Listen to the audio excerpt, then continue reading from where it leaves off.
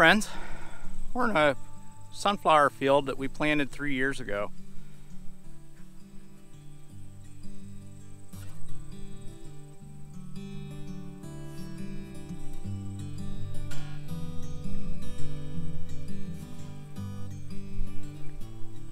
Now you're going to ask yourself, how did you plant that three years ago and still have sunflowers there? Because we all know um, these are this variety here is giant gray striped sunflowers, and they are an annual.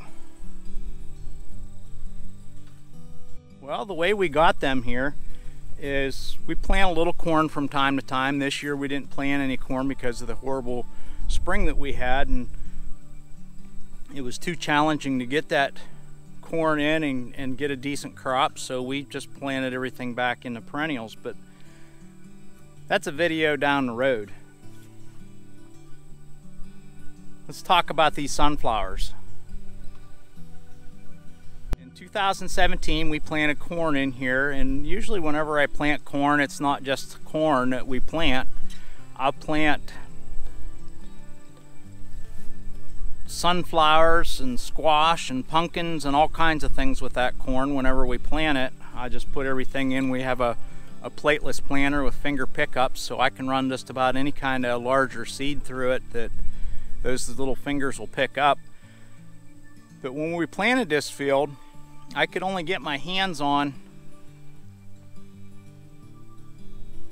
a half a pound of giant gray stripe seeds. So we planted those seeds, they come up and we always have sunflowers in our cornfield. They're always pretty, it's a happy field.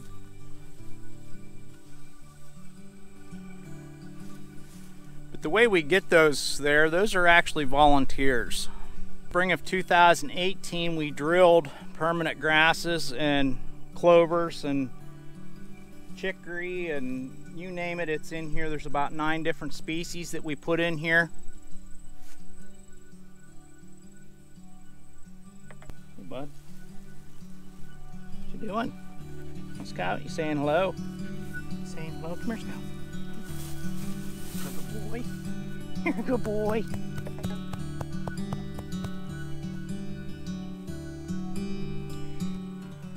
And we did so after grazing it. We grazed it tight with the cattle. We basically what you could call overgrazed it, opting out from using an herbicide to kill the existing vegetation. We seen that there were a lot of sunflowers coming into this field. And usually with new seedings that we have, we will let them grow as long as possible to get as much establishment in the roots in those new plants before that we gra before we graze them. And in doing so, it was late last fall last year after the sunflowers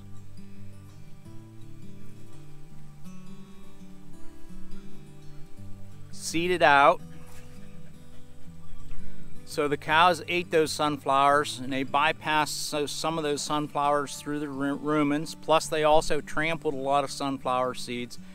So in 2019, that's how we were able to have a three-year stand of annual great giant gray striped sunflowers and I can't see any reason why we can't go into a fourth year with this. Eventually, I'm, I'm gonna, eventually these sunflowers will probably die out and not reseed themselves. But you're probably asking yourself, well, why would I want to try and graze sunflowers? Actually, out of all the forage testing, the hundreds and hundreds of samples of forage testing that I've done, the sunflowers are the best quality forage that we can produce on our farm. Raising sunflowers is actually high octane fuel for your livestock. I'll see if I can dig out a forage sample that we did a few years ago to give you some idea what the sunflowers are like in this state of growth.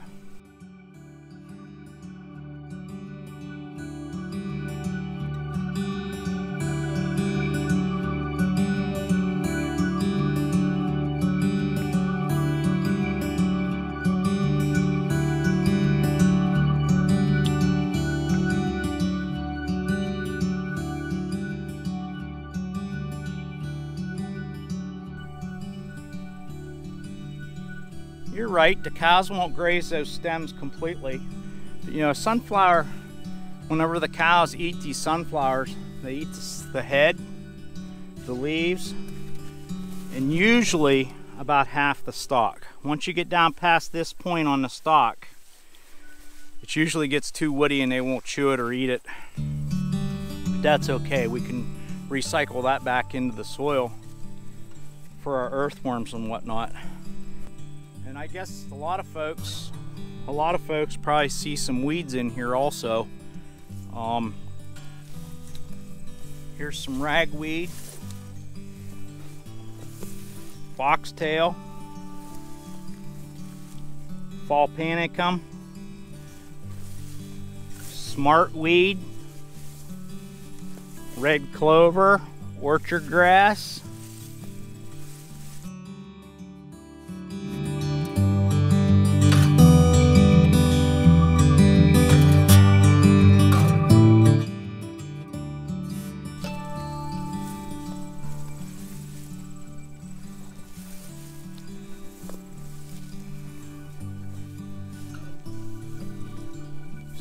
see, there's a lot of biodiversity and a lot of tonnage in here. We like to use the corn as kind of like, I, I like to look at the cornfields as a reset button. If there's a field that's not doing so well, or if we need to, or if we want to, or we don't necessarily need to switch the varieties or the species that's in that field, we can come in with the corn and it's kind of resets the whole field. We can come in with the corn, plant the corn, and then plant our permanent grasses in here or legumes or forbs or whatever else we're going to plant or we can we can plant our, our permanent pastures into this. This here's kind of an accident that we had and I'd like to share with you because I believe it can be re replicated pretty easily. I like to come in and, and seed our permanent pastures usually by the 15th of May because then we still have adequate moisture in the soil to allow for good germination because with our longer rest periods on our farm we don't graze a lot of fields multiple multiple times throughout the growing season. We try to allow those rest periods to keep those grasses healthy those root systems deep so they can access nutrients that they normally wouldn't be able to get.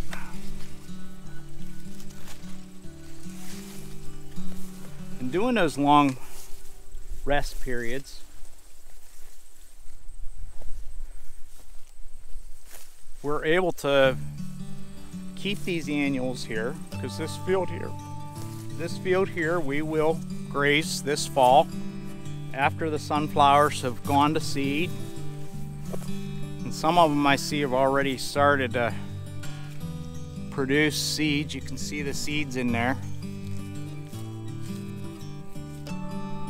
So I would say by mid-October we should be able to graze this. And in grazing it, we can reseed the pasture field. And then in the spring we'll come back in here I'm not sure when we'll graze this field. This field here actually looks like a really good stockpile for field. We may just wait. We just may wait until July or January or as long as we possibly can to graze this field because it's so nice and high quality. Now I'm not sure what the quality would be after it dies and after it dies off. I haven't done that test yet. There is a ton of grass in here. a Ton of soil life. This field actually feels like you're walking on a big sponge because of the earthworm middens and castings. You can see the granulation. I'm going to dig, pull some, some grass back so you can see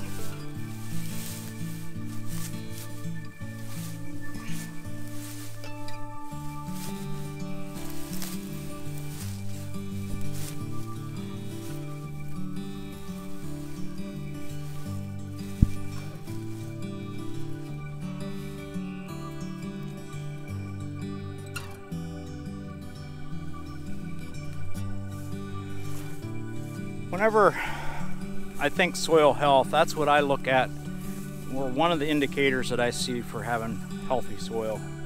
Having all that granulation and all that earthworm activity, and there's lots of insects in there. And a lot of times we can dig up earthworms and, and different things. But what that does is it helps water infiltration. You say, well, been a wet year, we don't need water infiltration, we got too much water on our fields.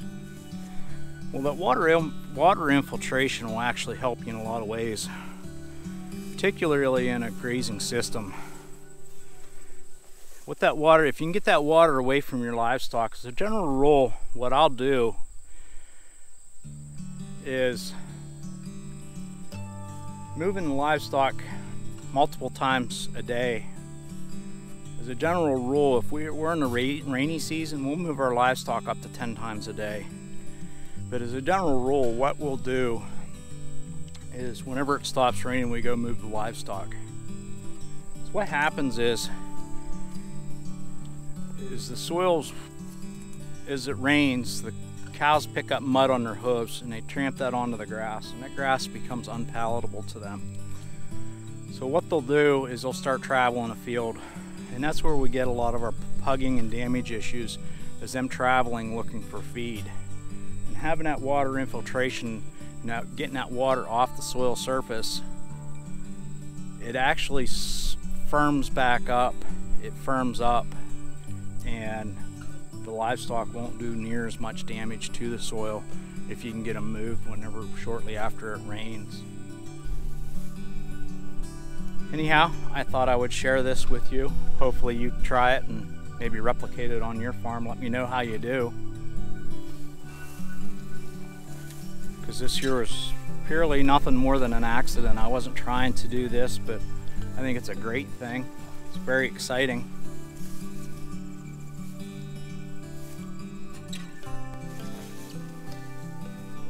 Hey friends, that's it for now. Please subscribe, like, comment, and hit the notification bell. You don't know how important that is for us.